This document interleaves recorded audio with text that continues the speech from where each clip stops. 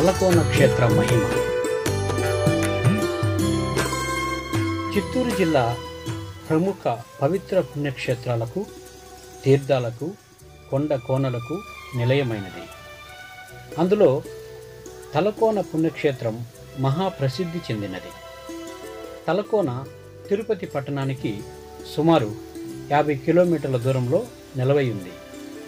ఈ తీర్థానికి తిరుపతి నుండి శ్రీనివాసమంగాపురం బాకరాపేట ఎర్రావారిపాళ్యం నెరబేలు మీదుగా చేరుకోవచ్చు. ఈ శేషాచల కొండలు తలకోన నుండి ప్రారంభమై శ్రీశైల పర్వతం వరకు వేరువేరు పేర్లతో వ్యాపించి ఉన్నది. ఈ తలకోన పర్వతం ఆదిశేషునికి శిరోభాగమని శ్రీశైల క్షేత్రం తోకభాగమని పెద్దలు చెప్తారు. ఈ క్షేత్రంలో శేషునికి తలపై నుండడం వలన ఈ కోనను తలకోనగా పిలుస్తారు. తలకోన క్షేత్రం అనేక జలపాత అందాలతో అలరారుతోంది.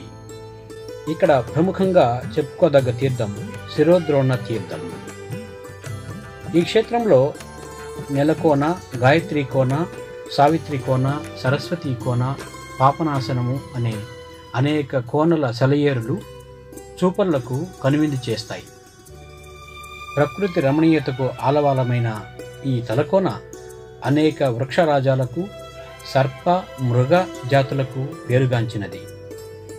ఈ క్షేత్రంలో పదిహేడు వందల ముప్పై మూడవ సంవత్సరం శ్రీ సిద్ధేశ్వర లింగాన్ని ప్రతిష్ఠ చేసి మహిమాన్వితములైన యంత్రోద్ధరణ చేయడం జరిగింది.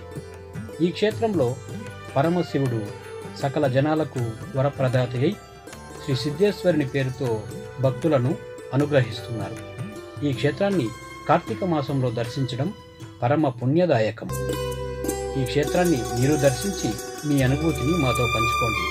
ఓం నమ శివాయ.